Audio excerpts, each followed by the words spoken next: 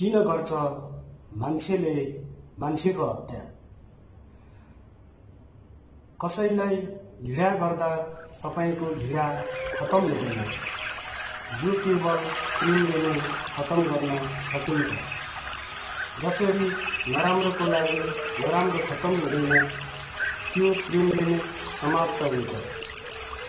प्रिय मित्रहरू यो दिव्य उपदेश शान्ति अहिंसाका प्रतिमूर्ति एवं अग्रदूत भगवान् गौतम बुद्धले दिनुभएको सत्यमार्ग यी महान दिव्य उपदेशलाई हामीले कहिले नभुलौँ।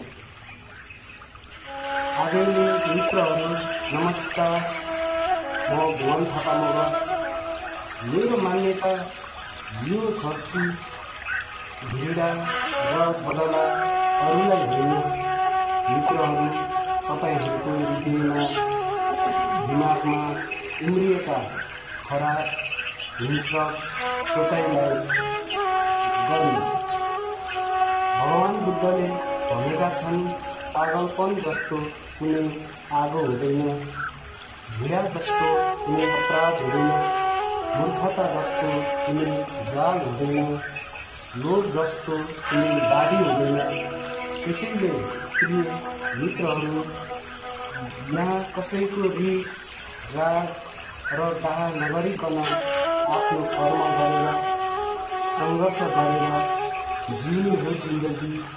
एउटा मान्छेको स्वतन्त्र जिन्दगीमाथि अर्को दोस्रो मान्छेले किन रिस गर्छन् किन घृणाले हेर्छन् यीमाथि किन बदलाको भावनाले हेर्छ हाम्रो मौलिक हक बाँच्न पाउने अधिकारमाथि किन मान्छेहरूले बदलाको हत्या वज्रपात गर्छन्? एउटा मान्छेले अर्को मान्छेको हत्या किन गर्छन्?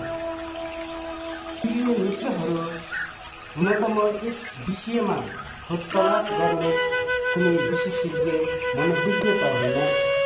म एउटा साधारण परिवारमा जन्मिएको साधारण व्यक्ति हुँ। विद्यमान अवस्थामा नेपालमा भइरहेका यस्ता घटनाहरूले हाम्रो समाज कतातर्फ गइरहेको छ भन्ने कुरा जनाइरहेको छ। समाज यस्ता घटनाहरूको विरुद्धमा किन बोल्दैन यो मेरो एउटा जिज्ञासा मात्र हो। प्रिय साथीहरू नेपालमा कोरोनापछि लकडाउनको अवस्थामा भनौँ अहिले लकडाउन भएको पनि छ महिना बितिसकेको अवस्था छ।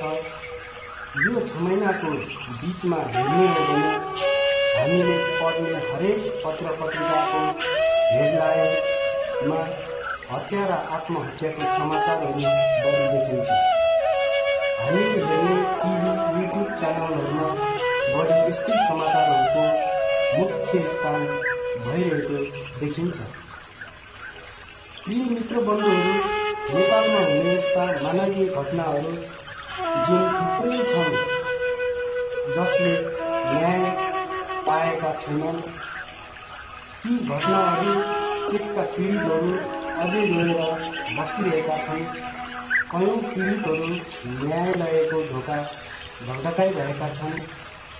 यहाँ धनीले गरिबलाई उच्च वर्गीय जातले दलितलाई एउटा घरबेटीले डेरावालालाई एउटा प्रेमीले अर्को प्रेमिकालाई एउटा लोग्ने मान्छेले अर्को सक्ने मान्छेलाई एउटा सक्ने मान्छेले अर्को लग्ने मान्छेलाई एकले अर्कालाई दिन दहाडै मान्छे काटेर ज्यान एकातिर टाउको बोकेर चौकी पुगेका छन्। एउटी नारीले नेवा काटे चाहिँ मान्छे काटेर ज्यान एकातिर टाउको अर्कोतिर पारेको छ यी त एउटा समाजका उदाहरणको घटनाहरू मात्र हुन् समाजमा यस्ता कयौँ घटनाहरू छन् जुन बितेर बसेका र त्यसका पीडितहरूले न्याय नपाएका साथीहरू के हामीभित्र मानवता भन्ने चिज हराएकै हो त के हाम्रो देश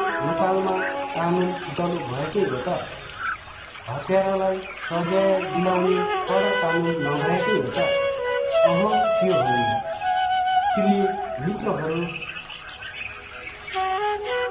म के भन्छु भने सकिन्छ भने हामीलाई बदलाउँ यस्ता हिंस्र खराब कुबुद्धिलाई त्यागेर हामी भगवान् गौतम बुद्ध जन्मेको देश नेपालको मानव सृष्टि प्रेमी मान्छे बनाऊ। हामी नेपालीहरू शान्ति समृद्धि र आनन्द चाहन्छौँ। शान्ति भनेको कुनै नयाँ जागिर होइन। समृद्धि भनेको कुनै विदेशको विकास होइन। आनन्द भनेको कुनै महलको बसाइ र मजमस्ती होइन। प्रिय मित्रहरू हामी भनेको शान्तिको दूत भनेर विश्वमा चिनिने भगवान् गौतम बुद्धको देशमा जन्मिएर हुर्किएको सच्चा देशभक्त नेपाली हो हाम्रो घर झुपडी जस्तो छ हाम्रो आँगन सानो छ।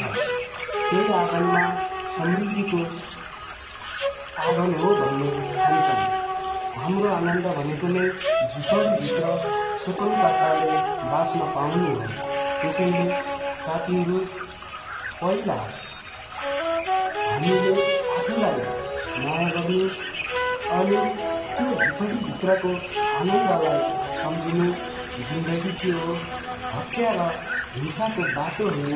आदरणीय प्रिय मित्रहरू शान्ति र आनन्दको मार्गतर्फ लगाऊ जय होस्। उहाँहरूको सुन्दर जीवन। सधैँ जय होस्। धन्यवाद।